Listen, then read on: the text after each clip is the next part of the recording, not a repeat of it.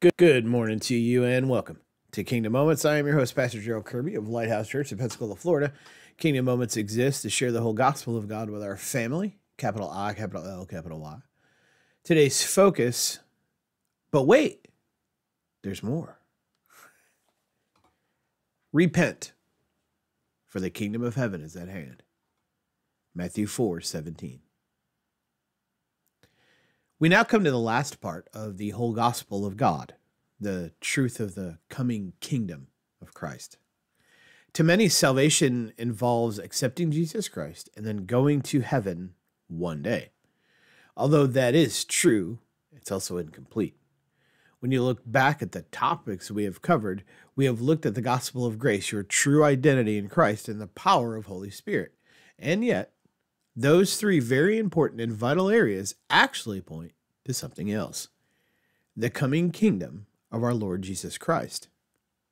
As we saw in the gospel of grace, your initial salvation and entrance into heaven are a guarantee.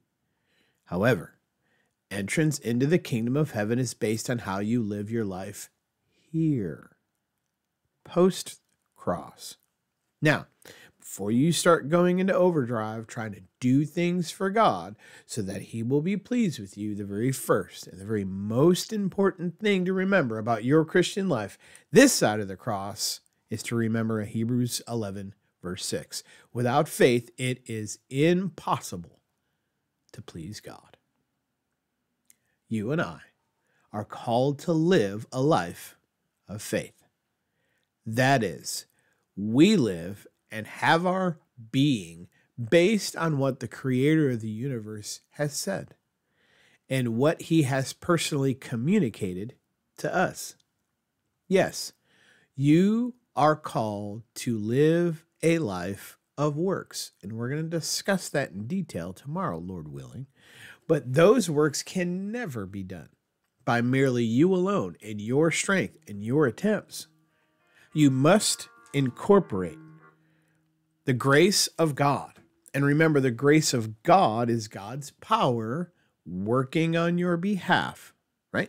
Jesus going to the cross is a picture of grace.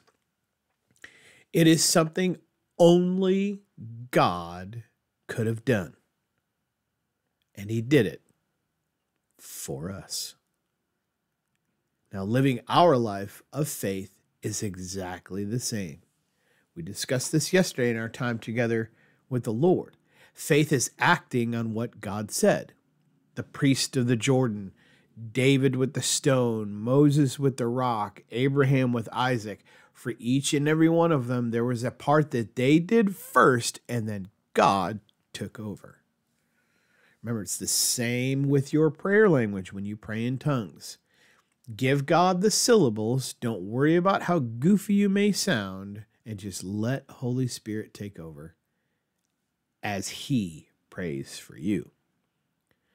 The reason for the introduction to the power of Holy Spirit in your life right now, and the reason for this introduction is before we speak on the gospel of the kingdom and the coming king, we must understand that without Holy Spirit, we will never, ever, ever be able to even see the truth of the kingdom. What do I mean by that? You won't be able to understand the truth of the kingdom without Holy Spirit. You won't be able to enter into the kingdom of heaven unless He works through you, unless He works on you, unless He works with you, unless He works for you. Intimacy and closeness to God are your foundation here as we step into the more mature things of God. Now, Father God will show you amazing things, both in the life on this earth and your spiritual life. All of them will be amazing, promise. However, to me, the fact that God desires his children to have part in a literal coming of Jesus, to reign with Jesus, to rule with Jesus, just seems over the top.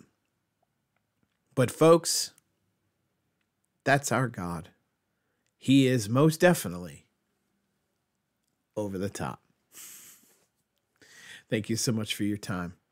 and your attention today. I truly appreciate it. I pray that this session has encouraged you, blessed you, uplifted you to see your new life in Christ and what we are all striving for. Take care, family. I love you.